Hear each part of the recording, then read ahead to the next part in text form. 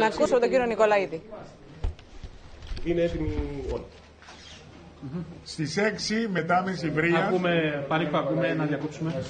οι κάλπες έχουν κλείσει και η ψηφοφορία έληξε σε όλα τα εκλογικά κέντρα.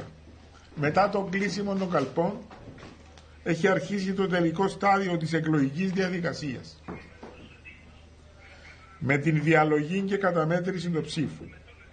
Όπως γνωρίζετε, η καταμέτρηση των ψήφων θα γίνει στους τόπους της ψηφοφορίας, δηλαδή στα ίδια τα εκλογικά κέντρα, με εξαίρεση μικρό αριθμό καλπών κατεχόμενων κοινοτήτων με μικρό αριθμό ψήφων κατά την κατεχόμενη κοινότητα, οι οποίες θα μεταφερθούν σε ενιαίο κέντρο διαλογής, το οποίο θα λειτουργήσει στον χώρο του Υπουργείου Οικονομικών στη Λευκοσία.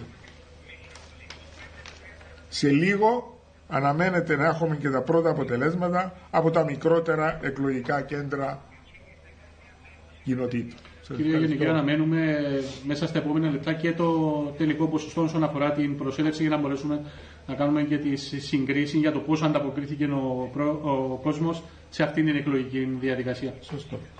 Ε, δεν έχουμε το τελικό ποσοστό. Όχι, αυτή τη στιγμή δεν το έχω. Ευχαριστώ.